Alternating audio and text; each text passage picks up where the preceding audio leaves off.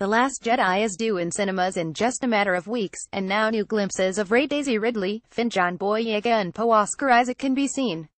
It's only a 27-second clip, but it's action-packed opening with Finn uttering the iconic phrase, May the Force be with you. We also see Poe say, that's gotta kick as he flies in space with BB-8, and get a new shot of Rey with a lightsaber.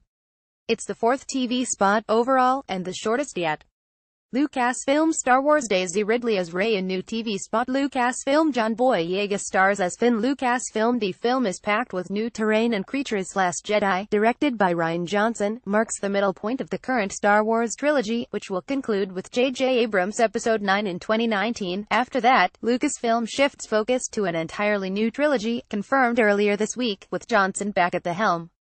A statement read for director Rian Johnson, Star Wars The Last Jedi was just the beginning of his journey in a galaxy far, far away. Lucasfilm is excited to announce that Johnson will create a brand new Star Wars trilogy, the first of which he is also set to write and direct, with longtime collaborator Ram Bergman on board to produce.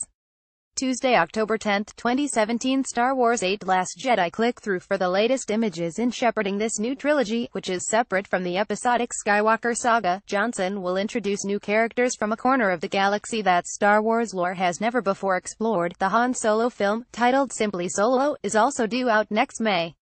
Star Wars 8 The Last Jedi is out on December 14 in the UK.